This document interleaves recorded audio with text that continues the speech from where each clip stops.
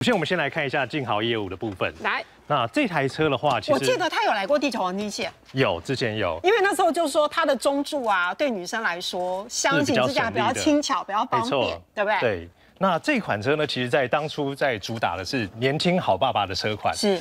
那整个以配备来说的话，它是比较取一呃一个实用性。嗯。像它的大灯，它是属于用呃使用一个卤素灯泡。那如果说你今天在更换的时候，它跟 LED 那个价格就会差很多了，所以它在维修上面也比较省钱。好，那你先一边讲啊，我又你知道妈妈的个性出来了。我如果今天要买它，我刚刚就在想说，你自己看这个开口。没错。直接嘟嘟进去哦。对，要换一个角度。又是要换个角度。哦，这样好，OK。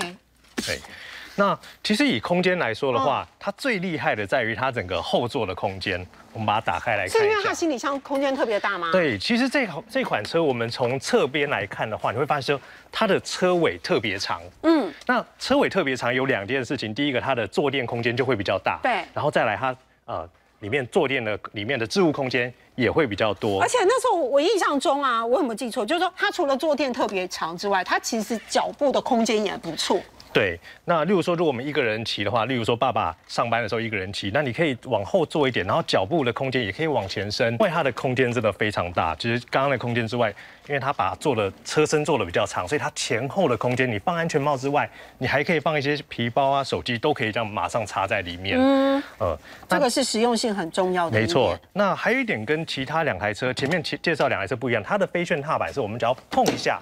它就弹出来了，不用说你要去踩开关，或者说特地要把它弄出来。你上车前稍微脚踩一下，这一点其实很重要。没错，因为很多后座乘客啊，不太喜欢用手去搬它。对，因为有时候车子放在外面会脏，对，轻轻踢一下它就出来了。好，所以这个劲豪一二五，没错，也是今年二零一九年卖的比较好的没错。